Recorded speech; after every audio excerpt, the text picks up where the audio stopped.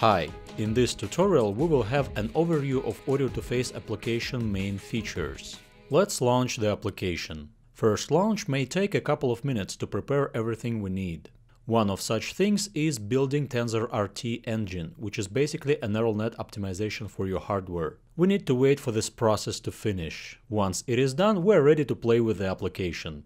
Here we see our template male head mesh, which is already set up to be driven by Audio2Face neural net and we can run the audio player to play some pre-selected track. The inference will be performed in real time. The beige hue on the waters of the loch impressed all, including the French queen, before she heard that symphony again, just as young Arthur wanted.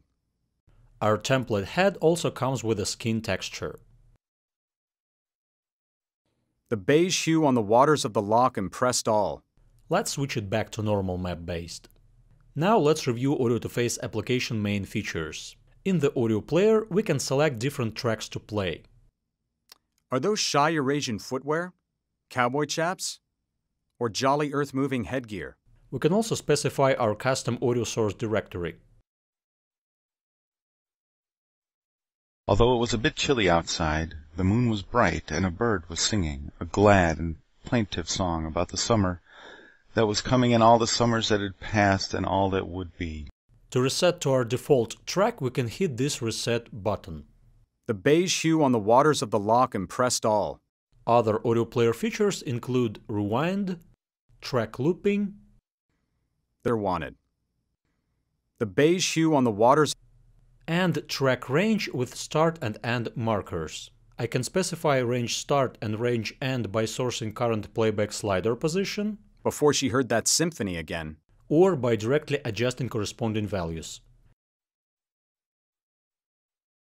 Beige hue on the water Track range is also used during animation cache export to specify which part of the animation we want to export.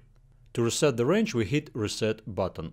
Audio Player in default setup also supports hotkeys P for play and pause, of the loch impressed all, R for rewind, L for toggling looping, and brackets for sourcing start and end of the track range.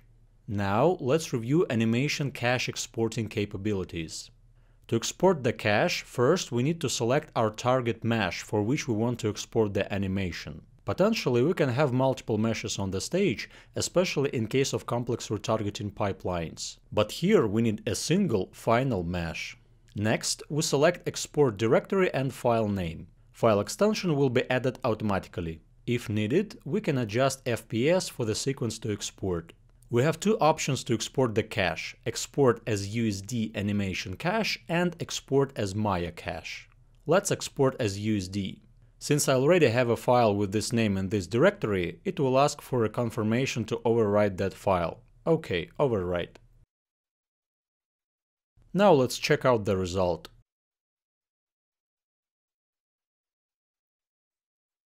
Add some light and play it back.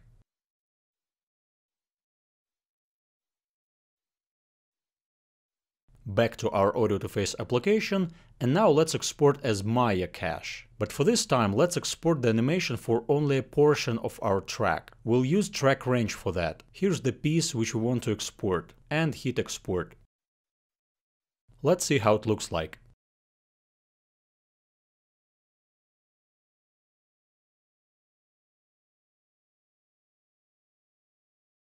Now let's look at how can we control Audio2Face neural net at the moment. First of all, a bit of audio preprocessing. Prediction delay parameter controls the offset in time for the audio data being fed to the neural net. Sometimes we need to adjust it for better audio and visual synchronization.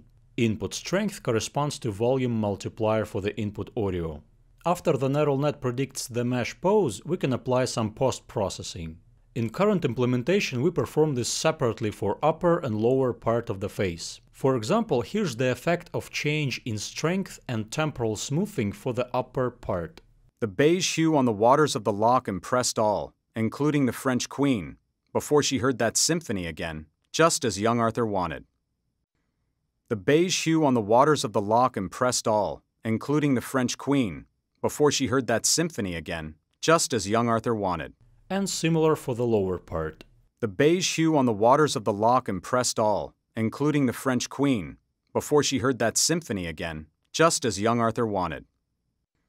The beige hue on the waters of the loch impressed all. Upper and lower facial parts are blended together using a face mask, for which we can control the vertical level and degree of the transition softness. There is also a way to control facial expression using this emotion section. In current version, emotional state is controlled by latent variables called source shot and source frame. Originally, they have relation to the training dataset for our neural net, but in fact, they should be used for blind search for suitable facial expression, by trial and error. As young Arthur wanted. The beige hue on the waters of the loch impressed all, including the French queen, before she heard that symphony again, just as young Arthur wanted. The beige hue on the waters of the loch impressed all, including the French queen, before she heard that symphony again, just as young Arthur wanted.